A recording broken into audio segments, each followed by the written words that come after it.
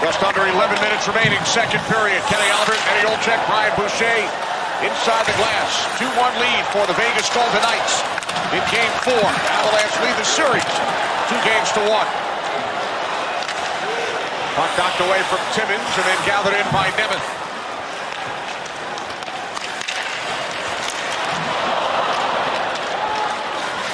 And there's a penalty. Burakovsky will go.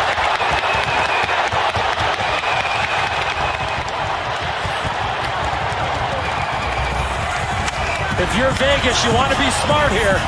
You know you got a power play coming. Alex Tuch and Compher.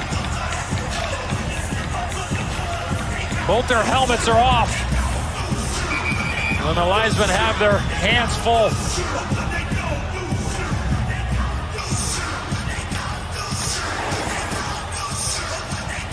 The free hand there, penalty by Burakovsky. Not a good penalty there. Actually lost his, lost his left glove as well. And then Pietrangelo comes in and takes a piece of Burakovsky.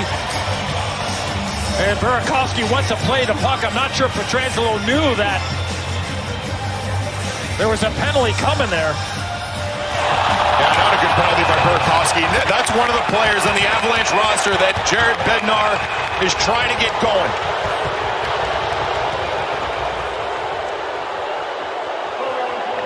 And here's a chance by Marchessault off the rush. And the follow-up by Riley Smith. This line continues to create chances off the rush. And there's the hit by Whitecloud on Jost. One of those hockey plays.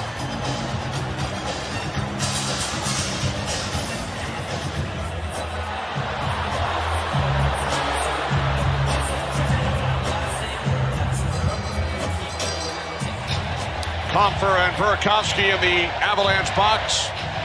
Tuch on the other side. Uh, that penalty with Tuch and Compher going to wash themselves out, it looks like. And